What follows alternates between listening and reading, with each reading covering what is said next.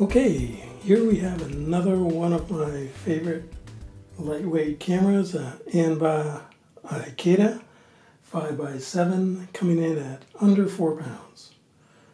And uh, it's just a very compact and usable lightweight 5x7 and you always take it with you. It has most movements. Um, let's see here, we've got the uh, definitely have uh, swing here. And we've got rise and fall and tilt on the front and tilt on the back as well. And also here we have uh, a little bit of swing in the back too. It, it slides along this uh, clever little rail here. And Everything about this uh, camera is just really unique. Not too many are made like this, and I don't believe this has been made for years now.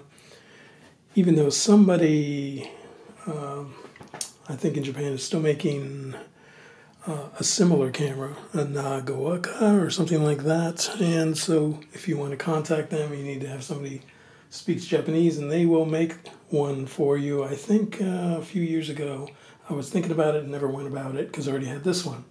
So um, what we have here is a camera with a short bellows. So you're looking at uh, 300 and less uh, as far as I remember in terms of um, usability on your lenses. And um, uh, it's very, very nice camera. The only, the only flaw that I find with this camera is, uh, and I haven't done it yet, is these tiny little knobs are not, uh, they don't have uh, lock washers on them.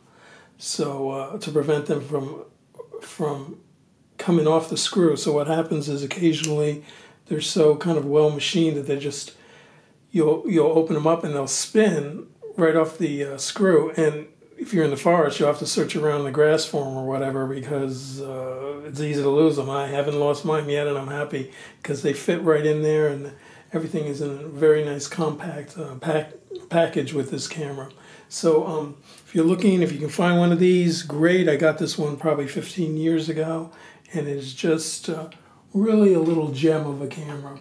Let's spin that around so you can see. Just a really beautiful camera in in all respects. If you need super moves and architecture stuff, this isn't for you. But if you're a field photographer and you want to um, just have uh, a really great tool that hardly weighs anything once you add your film holders in there like tripod you know you're in business 100% with this camera it's really just a great thing okay and uh, also you know i've done exposures three four five minute exposures in low lights and no problem. It's rock solid, and uh, it really it doesn't move, and there's no wobble or shake anywhere. Once you once you've got it locked down, it is locked down. Okay, so that's it for this video. Um, I love this camera, and uh, this one is just a permanent part of my large format camera uh, family. Okay.